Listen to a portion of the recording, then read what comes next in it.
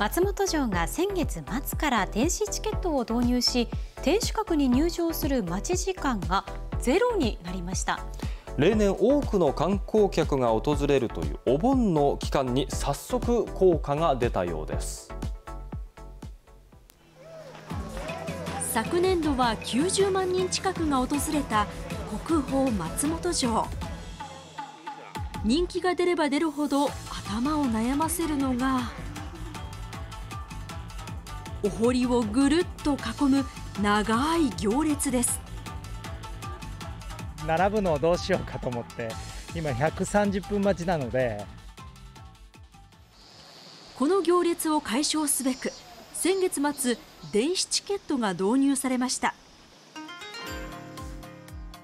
電子チケットを購入してこちらの QR コードを読み取ってもらうだけで簡単に入場することができますじゃあすいません。よろしくお願いします、はい、通るだけだから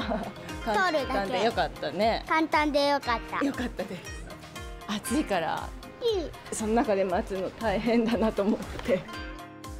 前にあの大阪城とかでも同じ感じで入ったんでやっぱりあの断然スムーズというか。正直知らなくてそのまま紙で買ったんですけどもし電子チケットあったら、まあ、ちょっと気にはしたかなと思ってます。チケットを買って店主に入るまで最大3時間だった待ち時間が日時指定をすればなんとゼロに。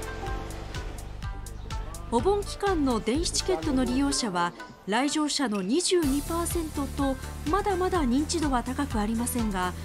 導入後店主へ並ぶ行列が1000人から600人に減ったそうです。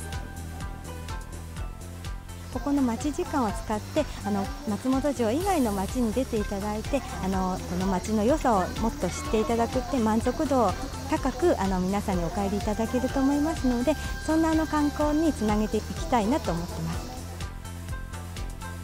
電子チケットは松本城のホームページなどから買うことができます今後は紙チケットの廃止も視野に入れているということです。